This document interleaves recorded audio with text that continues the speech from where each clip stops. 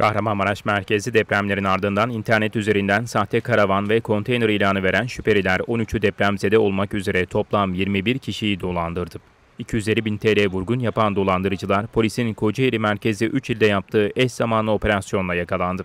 Kahramanmaraş merkezi meydana gelen depremleri fırsata çeviren 24 şüpheli 13'ü depremzede olmak üzere toplam 21 kişiyi dolandırırken internet sitelerine ucuz fiyattan sahte konteyner ve karavan ilanı koyan şüpheliler şikayet üzerine baltayı taşa vurdu.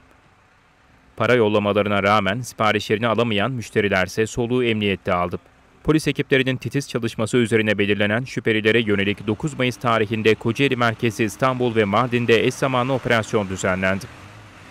Operasyon çerçevesinde yapılan aramalarda ise 62 telefon ele geçirildi. Gözaltına alınan 24 şüpheli adliyeye sevk edildi.